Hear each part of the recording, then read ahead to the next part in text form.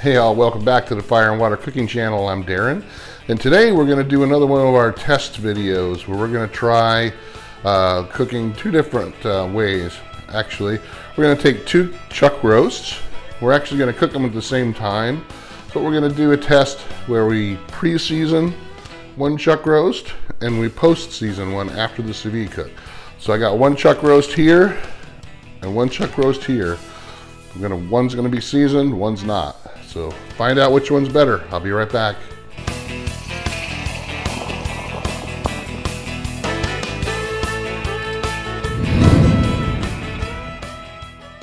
Forgive me, I'm actually got a little bit of sinus action going on this weekend, so trying to get that cleared up. But yeah, so what we're gonna do today is take two chuck roasts. Uh, they're about, you know, one and a half, two pounds each. And we're gonna cook them both in the same bath, same temperature, same time. But one of them, this one here, is not gonna be seasoned before we sous vide it. We're gonna wait to season this one after it comes out of the sous vide bath when we go to sear it. And this one we're gonna go ahead and season right now. And we're gonna try out some of this new seasoning that I got from uh, Heaven Made Products. Michael Petrie over at Heaven Made Products sent me some of his uh, spices to try, seasonings, and we're gonna try his most popular one, this first one that he ever came out with, and it's called It's Incredible. It's supposed to be a really good all-purpose type seasoning. Um, from what I understand, it works really good with beef and steaks, so we're gonna try to use that on this. We're gonna season this up, give it a good coating on both sides of the meat. And when then we're gonna throw it in our sous vide bag and toss these both in the sous vide bath at I'm gonna do one uh, 138 because I want them about medium. I don't want these medium rare this time. I'm gonna try them at medium. And 138 for 36 hours. Gonna get some tenderness on them I don't want them too uh, mushy.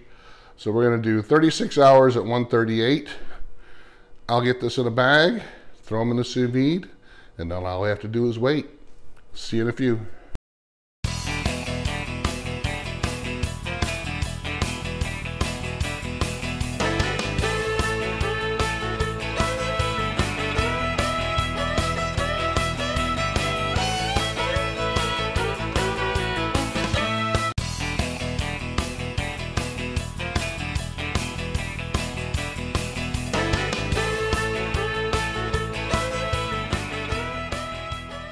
I just wanted to touch base for a second. I have done a preseason versus postseason uh, video before, but it was on some New York strip steaks that were only cooked sous vide for about three or four hours. So this this particular cook is going to be chuck roast that we're going to cook for 36 hours, which is a little bit different. The more time in the sous vide bath is going to give those seasonings a little bit more time to penetrate some of the uh, of the meat and spread out a little bit more than they normally would in a shorter cook. So that's one of the benefits of this kind of test is to see the longer cooks, the preseason versus postseason, and how it uh, affects the meat. But also, I wanted to touch base on this uh, rub, the It's Incredible rub from Heaven Made Products. You know, Michael Petrie, this is one of his first rubs that he made. One of the uh, benefits of this rub, it's not heavily salt based. It does have some salt in it, but unlike most of your um, commercial rubs out there, salt is not the first ingredient. Um, usually when you, they list their ingredients, the first ingredient is what it's got primarily in it. And if you look at the uh, if you look at the label on the It's Incredible rub, the first uh, first ingredient is freeze-dried garlic, granulated onion, parsley, black pepper, sugar, cornstarch, and then down the road salt, comes down way uh, in the line. So make sure you check out the uh, link below for uh, Heaven Made products, and it's incredible. And I think you'll like it. Thanks, guys, and I'll see you in 36 hours. Hey, all, this is a delayed finish of my uh, uh, roast chuck roast cook that I did. I actually got sick for a couple days and uh, ended up having some little issues come up. So I actually took the chuck roast out of the sous vide, cooled them off, put them away in the refrigerator for a couple days. So now what I'm going to do is actually put them back in the sous vide at the temp that I cooked them up to, 136.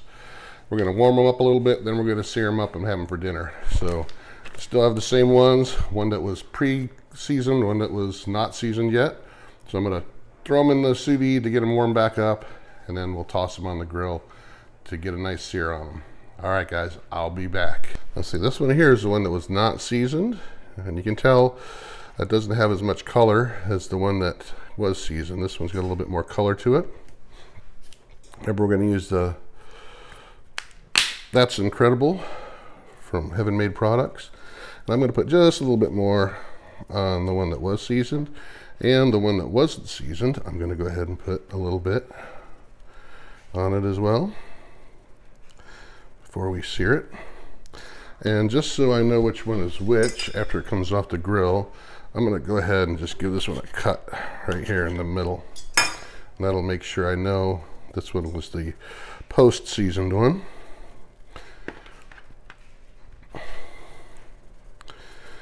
I'm going to give it about as much seasoning as I had on the other.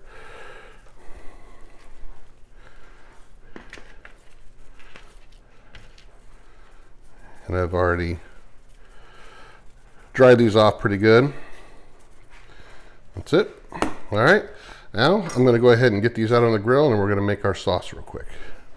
All right, we're going to sear these hot and fast today on my Camp Chef sear box, a gas sear box. That way we don't have any kind of smoke or anything uh, interfering with the taste difference. So I've already had it on there for about a little over a minute on one side and we're going to let it sear up a little bit more on this side just to get that nice sear color. Maillard reaction.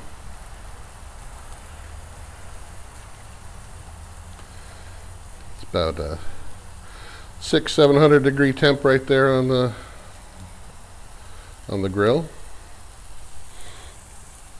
Not really looking for any kind of grill marks or anything. I just want to get a nice brown sear on both sides really well. All right, so this is the one I cut in the middle. So that was the one that was not seasoned prior to uh, sous vide. This one here was seasoned. And they look pretty much the same. This one's got a, it's a little flatter, I guess, so it's got a little bit more sear on it on here. This is and maybe this kind of popped up a little bit because of the cut but they both got a pretty good sear on it I'm gonna go ahead and just let me cut right from the middle here and you can see it's still pretty medium.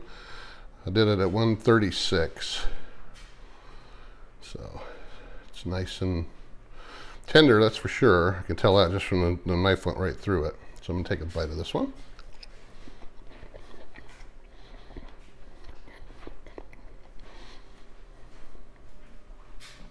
It's definitely, um, you can definitely tell it wasn't seasoned beforehand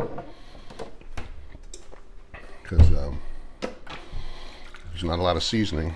Even though I put a lot of it on the steak or the chuck roast, just really can't taste it as well. Mm. I have to have a drink.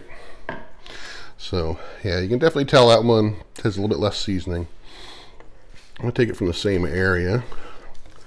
This one. And it's same doneness. A medium.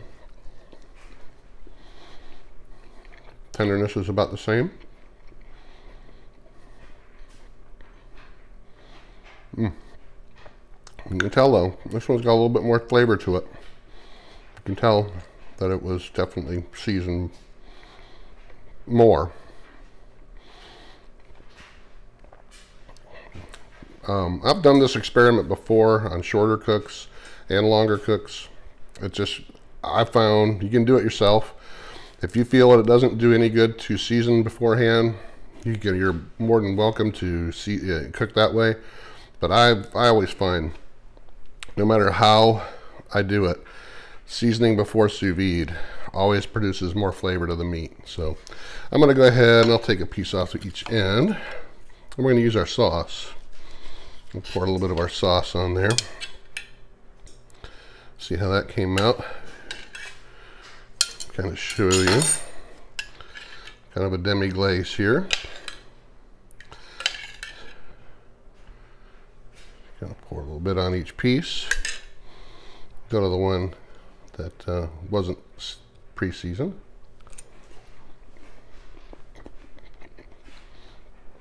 That definitely gives it a better flavor. Hmm. Definitely. Definitely needed some of that sauce. oh, my counter's clean. Mm. That sauce is pretty good. That's it. Like I said, guys, thanks for watching. Um, like I said, I, have done this experiment before plenty of times, but I've always found that pre-seasoning in the bag before you sous vide does make a better uh, tasting meat. You can do it any way you want. Do this experiment yourself. Make some uh, demi-glaze from the uh, sauce in the bag or the fluid in the bag. Make sure you like this video, subscribe, follow us on Facebook, Instagram, Twitter. Make sure you follow our next video. And thanks for watching. I appreciate it. Take care.